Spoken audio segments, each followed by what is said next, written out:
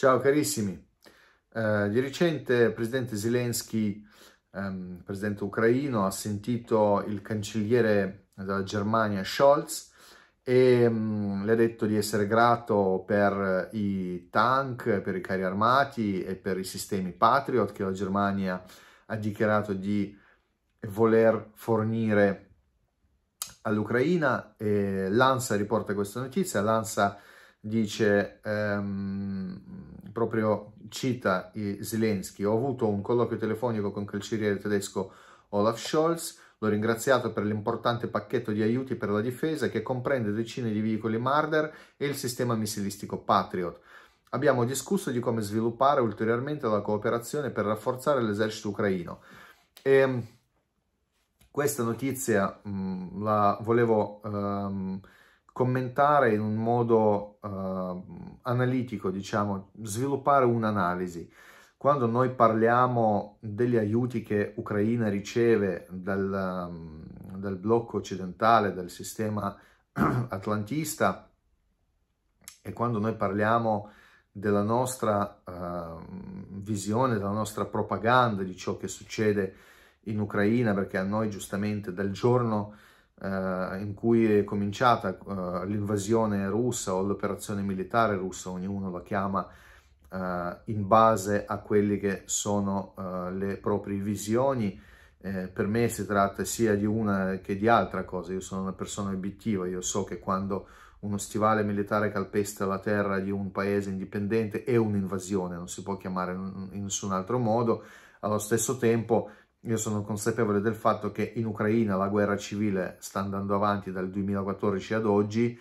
il governo centrale, che tra l'altro supporta il nazismo, rappresenta anche il nazismo, sta massacrando la propria popolazione russofona del Donbass, ha massacrato i propri oppositori e quindi c'era un focolaio di una guerra nella quale la Russia ha intervenuto usando questo focolaio anche come la scusa, perché se noi vogliamo eh, parlare degli interessi giustamente anche di Vladimir Putin, delle, del suo atteggiamento geopolitico, ehm, giustamente anche criticando, perché mm, qualsiasi politico, qualsiasi azione ehm, deve essere criticata, deve essere messa in uh, dubbio e discussa. E quando noi discutiamo uh, su quello che fa Vladimir Putin, l'unica cosa è chiara che la parte ucraina ma proprio si è sforzata per dare a Putin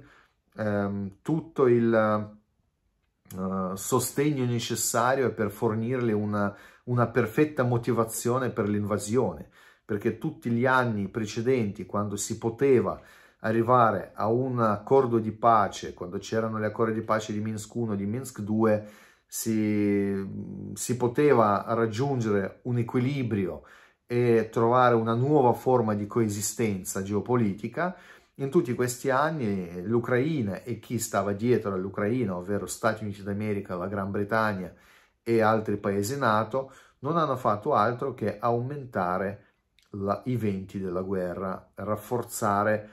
eh, la mh, provocazione nei confronti dei russi e alla fine eh, ovviamente abbiamo avuto ciò che abbiamo visto il 24 febbraio dell'anno scorso, ovvero un intervento militare brutale eh, della Russia, brutale ma comunque contenuto perché non è stata una vera e propria guerra d'invasione a larga scala come li abbiamo visti ad esempio effettuati dagli Stati Uniti d'America nello stesso Iraq ad esempio. Cioè i russi sono andati coi piedi, piedi di piombo, forse perché hanno creduto che l'Occidente uh, si siederà a tavola a trattare anche questa stranissima uh, finta uh, presa di Kiev, avvicinamento a Kiev che non era um, logico, secondo me si trattava semplicemente di un bluff dei russi che aspettavano reazione um, dalla, dal, dalla parte occidentale, aspettavano che l'Occidente si metterà con loro a, a, tavola dei negoziati, invece così non è avvenuto e loro sono, sono trovati coinvolti in una guerra uh, vera e propria, molto lunga, comunque, alla quale comunque erano pronti perché mh, ascoltando analisti russi, eh, Vladimir Putin questa guerra l'ha progettata tranquillamente fino al 2035, per cui eh, se credere a quello che scrivono e quello che dicono loro, se credere ai numeri che loro condividono, eh, i russi possono tranquillamente fare questa guerra in questi termini, con queste forze, in, con queste dinamiche molto lenti, insomma, mm, senza fare grandi um, movimenti su, uh, su, sul terreno, loro possono andare avanti così fino al 2035 perché a loro soprattutto conviene a livello geopolitico di fare questo, uh, questo scambio di, di, di minacce con, uh, con l'Occidente, trasformare l'Ucraina in una zona dove uh, si scontra con la macchina militare occidentale, mentre sul piano economico si cambia totalmente il, um, il posizionamento eh, dei poteri internazionali. E, um, arrivando quindi a commentare questa notizia di eh, ulteriori pacchetti di armi, di armamenti che eh, l'Occidente fornisce all'Ucraina, noi possiamo dedurre soprattutto una cosa, e qua dobbiamo essere chiari, sinceri e obiettivi. L'Ucraina, il paese che secondo la nostra narrazione occidentale, secondo i nostri propagandisti, io li chiamo propagandisti perché noi viviamo nell'epoca delle propagande, c'è la propaganda russa, c'è propaganda occidentale, c'è propaganda ucraina, siamo in mezzo alle propagande e il problema è che proprio mancano le voci obiettive. Ecco, secondo la propaganda occidentale, l'Ucraina starebbe vincendo, la Russia un esercito, uh, ha un esercito totalmente demoralizzato, distrutto, utilizzano gli armi, armamenti vecchi, leggi ogni notizia, sembra che domani gli ucraini prenderanno il Cremlino. E, ehm, è, una, è un qualcosa di fantascientifico ovviamente, ma allo stesso tempo arrivano le notizie del continuo fornimento delle armi, dei mezzi all'Ucraina. E qua mi domando, cari amici, ma secondo voi un paese che sta andando avanti, che sta vincendo e sta sconfiggendo un amico così debole come la Russia, ha veramente bisogno di tutto quel mh, enorme pacchetto di aiuti militari che l'Occidente le sta fornendo? Guardate che in un anno l'Ucraina ha ricevuto un'enorme quantità di armi, di munizioni, di mezzi, eh, di eh, soldi anche e nonostante tutto non riesce a prendere nessun tipo di eh, iniziativa sul campo. Due volte quando l'Ucraina eh, è stata qua in Occidente mh, portata sul piedistallo come vincitore di, di, di battaglie, erano due volte quando i russi hanno effettuato una ritirata tattica per evitare di scontrarsi in una situazione dove, che avrebbe portato l'esercito russo a enormi perdite, i russi hanno preferito di ritirare le loro forze da Kherson e da Kharkiv, da, dalle zone di Kharkiv e da Kherson. E tutte e due volte, giustamente, il nostra, um, nostro impianto mediatico occidentale ha parlato di grande vittoria dell'Ucraina. Sicuramente si è trattato di un fatto positivo per gli ucraini, perché vuol dire che sono stati liberati territori dove loro hanno potuto uh, insediare subito uh, con, loro, um, con, il loro esercito, dove loro uh, sono riusciti a riprendere in parte ciò che è loro, è sicuramente un fatto positivo per gli ucraini. Però se guardare sul piano strategico non si tratta di tutta questa grandissima vittoria dell'esercito ucraino. Si tratta di, in primis, ritirata tattica dei russi, che poi è stata sfruttata da uh, propaganda nostra occidentale come uno, un palese uh, strumento propagandistico, come un palese tematica propagandistica che ci ha rappresentato questa ritirata tattica come una grande sconfitta dell'esercito russo. E poi stranamente mi domando, ma perché questo, questa sconfitta non è andata avanti? Perché invece loro, dopo essersi posizionati dove vogliono, dove hanno preferito, hanno continuato, sono, sono ancora lì, continuano a stare lì e anzi fanno i danni. E quindi,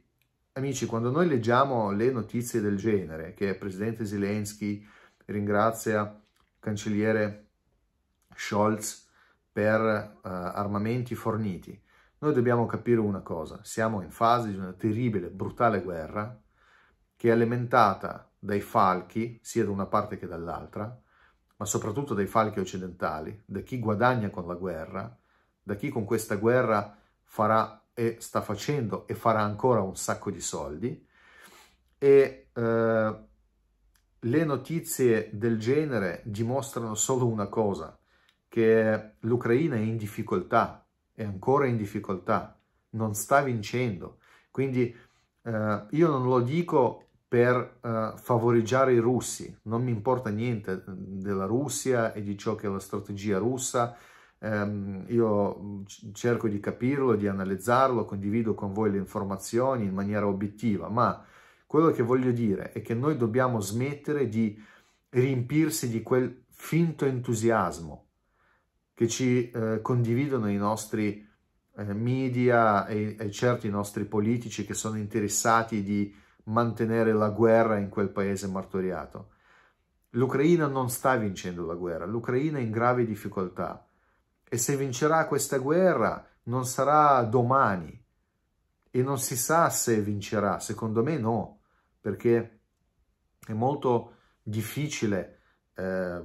per un paese come Ucraina riprendere quei territori che sono stati già occupati, ma soprattutto molto difficile affrontare un paese come la Russia, ma numericamente è impossibile.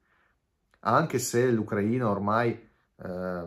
sul territorio non è presente solo Ucraina, anzi, lì sul territorio contro l'esercito russo è schierato tutto l'Occidente, tutta la Nato, con le armi, con tecnologie, con eh, le, i servizi segreti, ehm, con tutto quello che è legato a,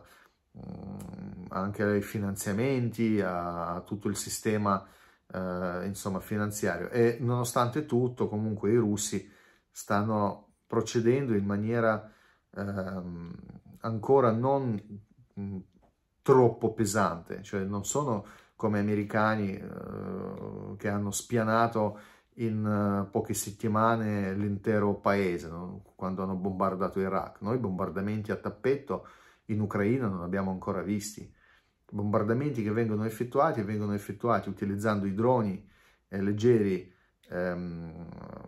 che, che, sono modifi modificazioni dei Shahid ehm, iracheni che sono uh, Jaran 2 e, um, e questi colpiscono principalmente le infrastrutture eh, legate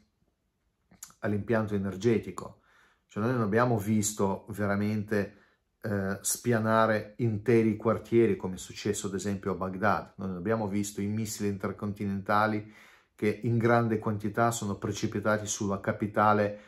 eh, dell'Ucraina, Kiev, radendo al suolo totalmente interi quartieri e seppellendo centinaia di migliaia di esseri umani sotto le macerie, come è successo ad esempio in Iraq. Quindi stiamo parlando di una guerra che sarà sicuramente lunga, dove l'Ucraina non sta vincendo e il fatto che l'Occidente continua a fornire ulteriori armi all'Ucraina dimostra proprio il, uh, la difficoltà che ha l'Ucraina nell'affrontare russi, perché loro hanno bisogno sempre più armi, sempre più uomini, sempre più finanziamenti. In effetti continuano a chiedere questo. Poi qua possiamo aggiungere anche il fatto che in Ucraina c'è una certa corruzione, le armi finiscono, le armi che fornisce l'Occidente all'Ucraina finiscono anche sul mercato nero, di questo ormai parlano i leader degli stati, come ad esempio il leader di Nigeria, che continua a battere allarme, a dichiarare a tutto il mondo ormai chiede aiuto perché il, uh, il gruppo terroristico Boko Haram che nell'Africa subsahariana sta commettendo gli attentati terroristici e tiene in paura tutta la regione, ormai armato eh, con sistemi anticarro, sistemi missilistici eh, provenienti dall'Ucraina. Anche molti terroristi di Boko Haram sono stati in Ucraina, hanno fatto lì qualche mese di guerra, sono tornati addestrati, hanno ricevuto eh, ulteriori eh, sostegni economici e continuano adesso a applicare il terrorismo in Africa. Per questo motivo ovviamente eh, noi dobbiamo essere coerenti